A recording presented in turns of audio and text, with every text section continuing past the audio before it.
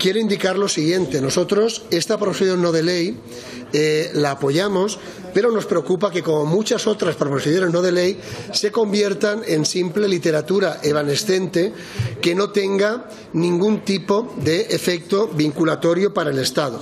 Porque cuando se habla de un modelo de transporte compatible con la lucha contra el cambio climático, nosotros estamos hablando de partidas que deben verse necesariamente reflejadas en los presupuestos generales del Estado.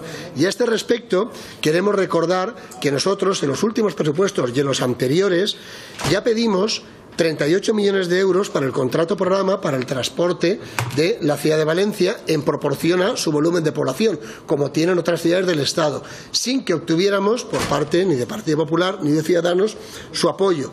O también pedimos 124 millones para el avance en las obras del corredor mediterráneo, también desestimado, o 20 millones para el tren Alcoy Xàtiva Valencia, que es todo un ejemplo de tren decimonónico que no cubre las expectativas, las necesidades.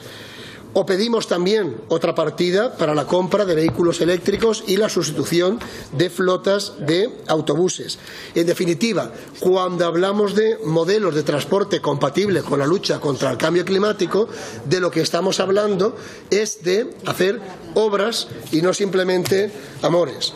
Una reivindicación esencial para la vertiente mediterránea es la realización del corredor mediterráneo, así también como el corredor cantábrico-mediterráneo, que permitirán el crecimiento económico junto a la reducción de la contaminación y de las emisiones de gases de efecto invernadero. Según los datos que manejan los empresarios valencianos, el corredor mediterráneo supondrá una reducción de 900.000 toneladas de emisiones de CO2 al año, lo que equivale a la contaminación que generan 130.000 coches dando la vuelta al mundo.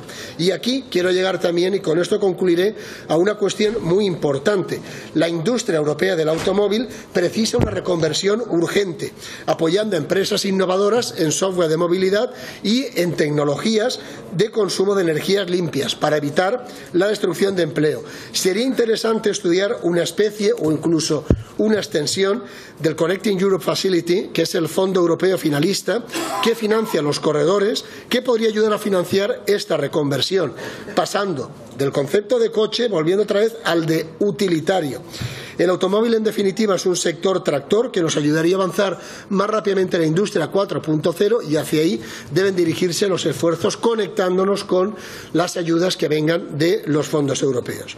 Por tanto, como digo, apoyaremos esta proposición no de ley, pero sí que nos gustaría tener ya pronto un texto presupuestario sobre el cual ver cómo se ha trabajado y eventualmente introducir enmiendas en la línea que ha apuntado. Muchas gracias.